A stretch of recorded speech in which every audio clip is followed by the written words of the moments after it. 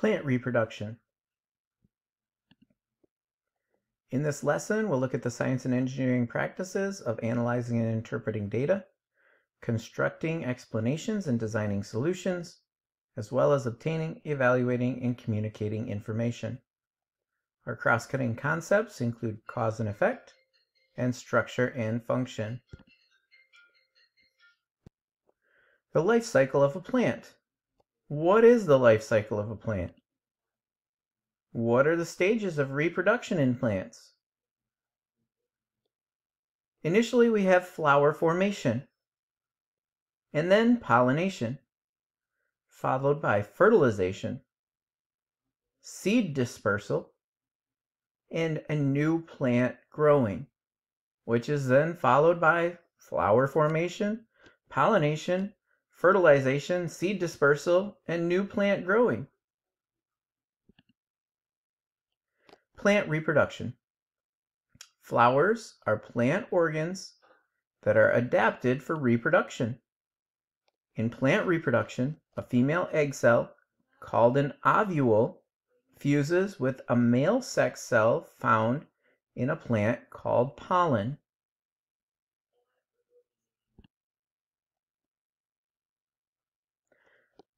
Structure of a flower. So what are the reproductive parts of a flower called? This structure is called the sepal. This structure is called the anther. The ovule is found below the sepal.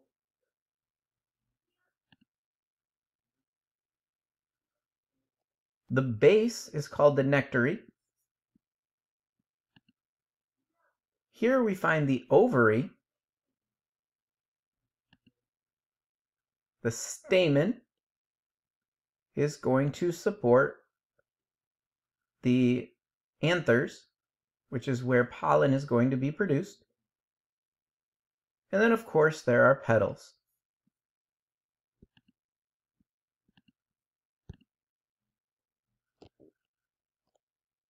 What are the functions of the reproductive parts of a flower? The stamen, it is the male sex organ. It contains the anther. The anther produces pollen, which is the male sex cell. The ovary is the female sex organ. This is where the female sex cells, called ovules, are made. The petals are often colored and scented to attract insects. Insects help in the process of pollination. The stigma is the part of the female sex organ that receives the pollen. The nectary makes sugary nectar.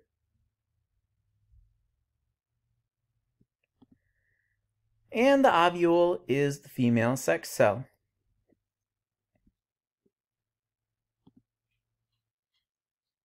So thinking about these parts of the flower, what are the male and what are the female organs?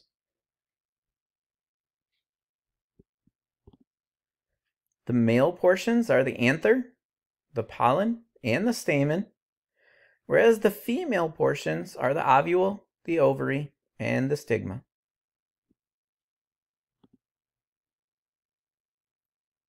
So what is the function of each of these parts of a flower?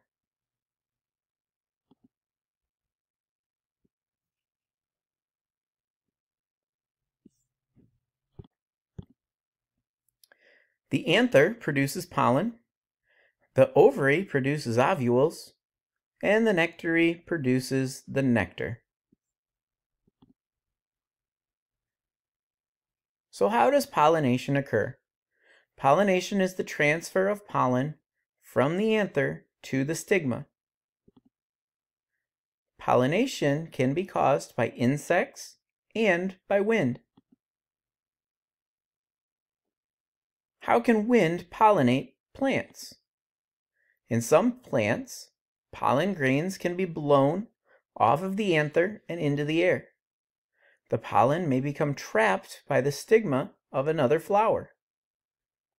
If this flower is of the same species as the pollen, pollination will occur. Oftentimes, this is the type of pollination that causes people to have allergies in the spring and in the fall. Adaptations for wind pollination. Some flowers are adapted for wind pollination. These adaptations include very light pollen, a large number of pollen grains, a large anther outside of the flower, feathery stigma outside the flower,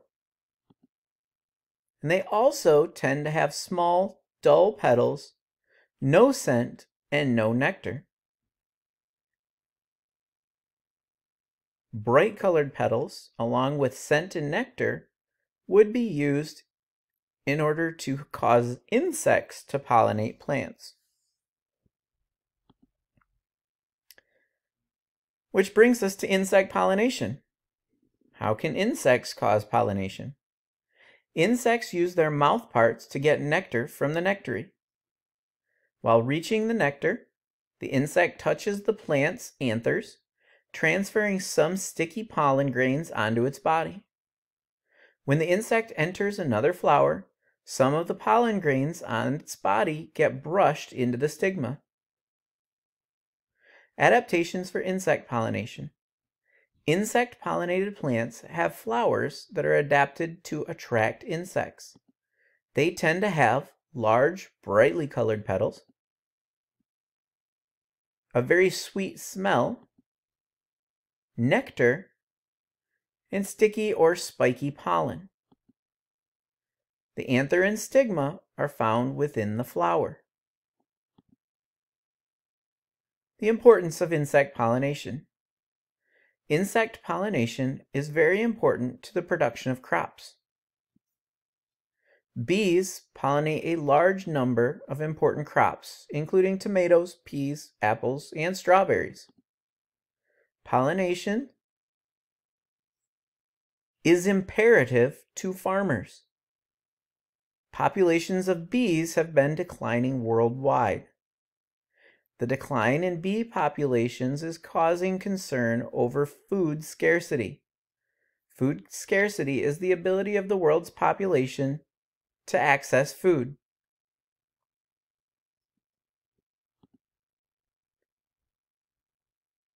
So what would be causing the decline in bee populations?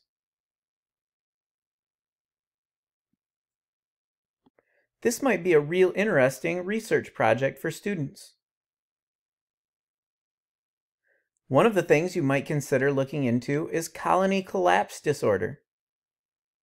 The causes of colony collapse disorder remain unknown.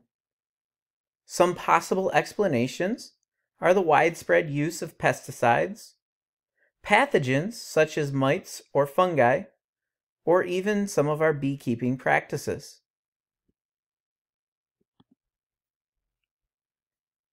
Let's dig into some true and false questions.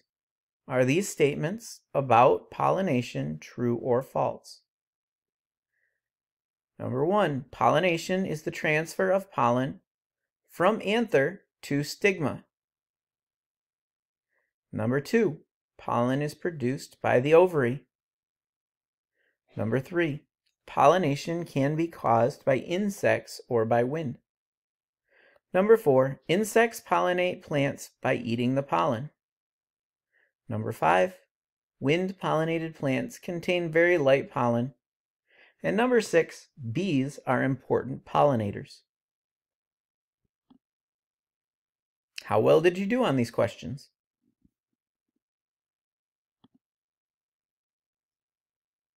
Fertilization. What happens during plant fertilization? Fertilization is the process by which male sex cells and female sex cells join together to form a fertilized egg cell. In plants, fertilized eggs become seeds. In stage one, during pollination, a pollen grain becomes stuck to the stigma. The nucleus of the pollen grain contains male sex cells.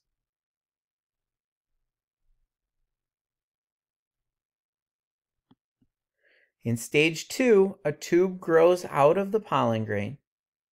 The tube grows down the style and into the ovary.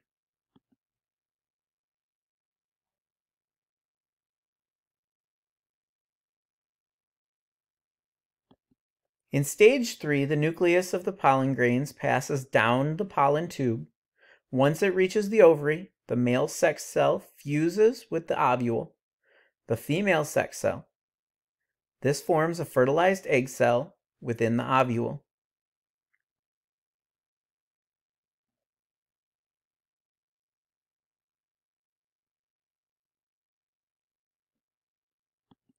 In stage 4, the fertilized egg cell divides and grows into an embryo. The ovule becomes the seed, which contains the embryo. The ovary becomes the fruit, which contains the seed.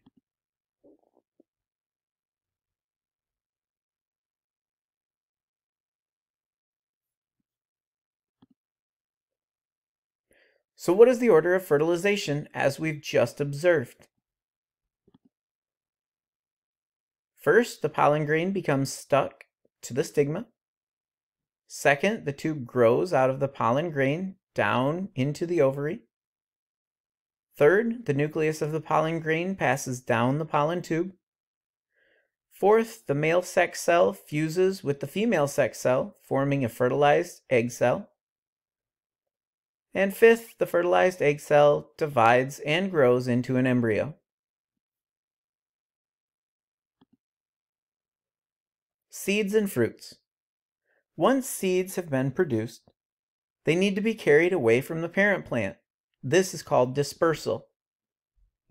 Why do you suppose dispersal is important? If seeds land too close together, they will compete for space, light, water, and nutrients. Some seed dispersal happens with animals. Seeds can be dispersed by the wind and also by animals. The seeds may be carried away by animals and then dropped or forgotten. The seeds may look or hook onto animals and be carried away. The fruits may be eaten by animals. The seeds pass through the digestive system and out of the body in the feces. Seeds from different plants. What types of seeds do different plants produce? Different plant species produce different numbers of seeds and distribute them in different ways. The tomato plant produces seeds inside of the tomato.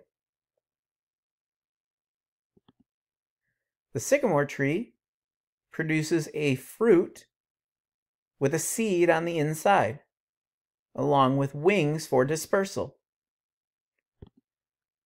An apple produces its seeds on the inside of the ovary.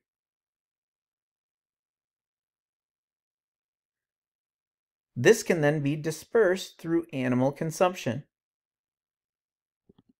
The dandelion creates parachute hairs, which allow for the fruit with the seed inside to be dispersed by the wind. And strawberries produce seeds on the outside of the fruit body.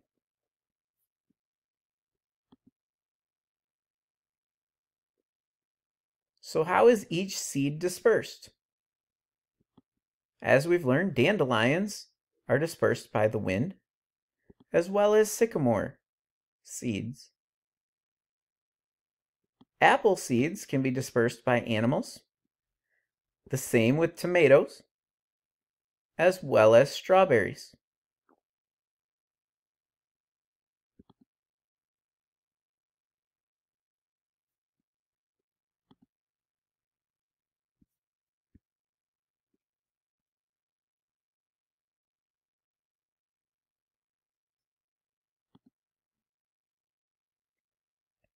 Here's some dispersal data.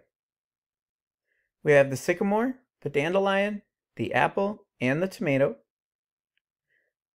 We are given the type of dispersal, whether wind or by an animal. We are given approximate numbers of seeds per plant per year. along with average dispersal distance. Do you see any connections here?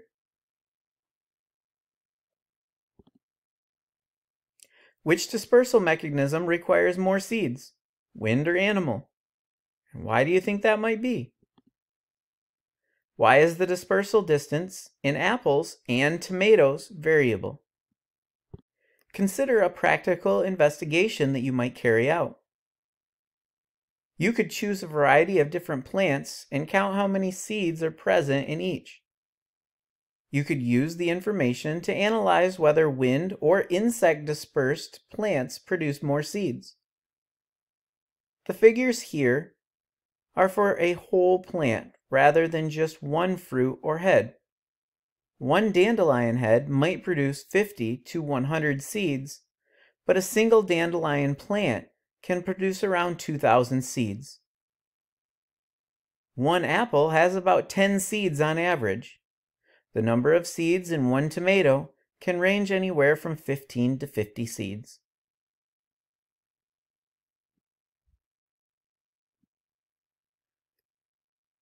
So consider digging into plants, plant seed production, and dispersal to see if there's any trends.